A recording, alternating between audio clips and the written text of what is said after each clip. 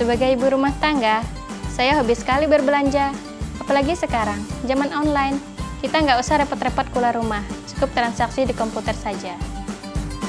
Dulu, saya pernah berbelanja online. Uang sudah ditransfer, barang tak kunjung datang.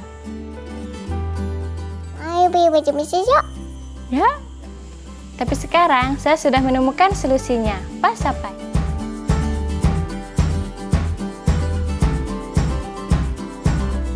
Layanan pembayaran online Indonesia yang cepat, aman, dan terpercaya.